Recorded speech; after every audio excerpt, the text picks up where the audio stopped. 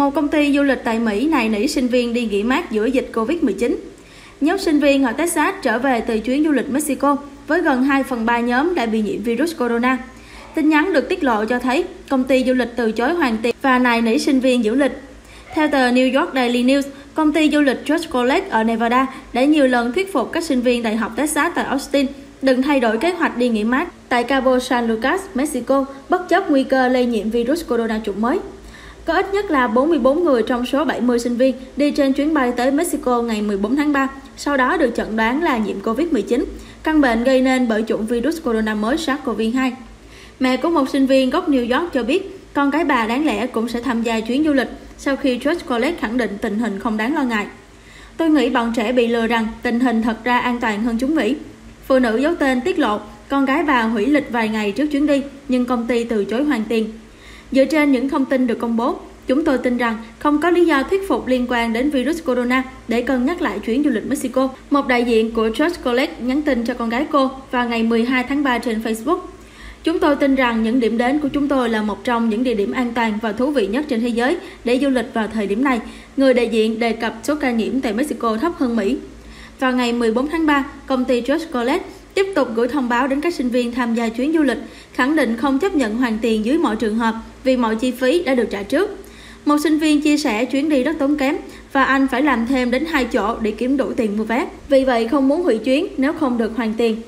Vẫn chưa thể kết luận được liệu là có thành viên nào trong nhóm nhiễm bệnh từ trước rồi lây nhiễm trên chuyến bay hay không. Giới chuyên gia cho biết một số trường hợp nhiễm mất nhiều ngày để phát bệnh hoặc thậm chí không có xuất hiện triệu chứng. Vào thời điểm chuyến đi diễn ra, Mexico vẫn chưa được đưa vào danh sách cảnh báo đi lại của Bộ Ngoại giao Mỹ. Tuy nhiên, giới chức y tế nước này đã khuyến cáo công dân cân nhắc lại mọi kế hoạch đi lại không cần thiết. Việc các ca nhiễm bệnh và tử vong vì Covid-19 tăng lên nhanh chóng từ thành phố New York đã ảnh hưởng nghiêm trọng đến sức khỏe tinh thần của các thành viên và những người bạn bè. Nhiều người đã không còn thể hiện sự tự hào khi chia sẻ về gia đình của mình, thay vào đó là một sự lo lắng. Người dân ở New York đang bất lực chứng kiến virus corona với tốc độ lây nhiễm kinh ngạc và sự hung hăng của nó, đang tấn công thành phố một cách mạnh mẽ trong những ngày gần đây. Với hơn 1.500 người tử vong tại thành phố vì Covid-19, có rất nhiều người đã mất đi một người bạn, người đồng nghiệp hoặc là phụ huynh cùng trường của con. Trong khi đó, với hơn 50.000 ca nhiễm bệnh tại New York, gần như ai cũng biết một ai đó nhiễm virus.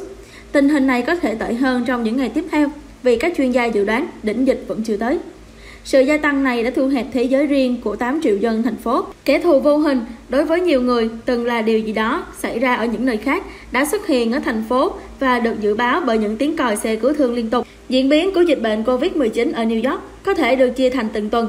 Tuần mà các nhà hàng đóng cửa, tuần mà trường học đóng cửa, tuần mà các cửa hiệu ngừng hoạt động và giờ là tuần mà người dân thành phố bắt đầu cảm nhận rõ ràng sự nghiêm trọng của vấn đề. Nó cho thấy chúng ta đều bình đẳng, nó không quan tâm bạn thông minh, giàu có, quyền lực như thế nào. Nó không quan tâm bạn trẻ hay già. Thống đốc bang New York Andrew Cuomo nói trong cuộc họp báo hôm 31 tháng 3. Trong khi tại khu Queens, một nhà văn trẻ mới biết được rằng cả cha lẫn mẹ của người bạn thân phải nhập viện vì virus corona, trong đó một người đã phải thở máy. Tốc độ của những gì diễn ra khiến cho mọi người cảm thấy siêu thực. Một người cách đây một tháng vẫn còn thưởng thức bữa tối ở Manhattan trước khi đến Broadway xem kịch Giờ đây có thể đã bị nhiễm virus, đau buồn vì mất người thân trong gia đình, mất việc hoặc thậm chí là tất cả những điều trên. Không có gì có thể so sánh với Covid-19, dù hàng nghìn người đã mất đi người thân trong vụ 11 tháng 9, nhưng sự mất mát đó đến trong một ngày khủng khiếp và chỉ trong một khoảnh khắc. Còn virus corona lại tấn công chậm rãi hơn, từ từ và kéo dài. Không chỉ là những tiếng còi xe cứu thương trên phố, người dân New York còn nhìn thấy cả tác động của đại dịch qua Facebook và Twitter, nơi những người bạn của họ thông báo về việc mất đi người thân mối đe dọa dường như ở tất cả mọi nơi. Mỗi ngày trên mạng xã hội, chúng tôi nhìn thấy một ai đó mới. Cảm giác thật hoang mang, tôi phải kiểm soát thời lượng đọc và cuộn. Audrey Catwell, một phụ nữ 30 tuổi ở khu Queens chia sẻ. Ban đầu cô hoài nghi về tác động của dịch bệnh, nhưng giờ đây phải tìm cách để giảm bớt sự lo lắng bằng việc thiền cũng như là dắt chó đi dạo.